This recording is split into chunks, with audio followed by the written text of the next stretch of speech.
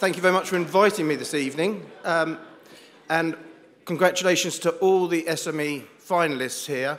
Uh, it's a tremendous achievement.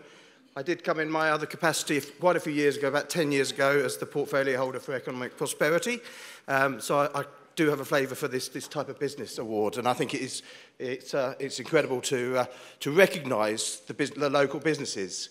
I just had a little clip, um, th think about, um, I don't know the Surrey statistics. Obviously, I'm Reigate and Banstead, so I'm very localised. Um, and uh, the SME, make, uh, in um, Reigate and Banstead, we've got over 8,000 businesses of which 90% of them are SMEs.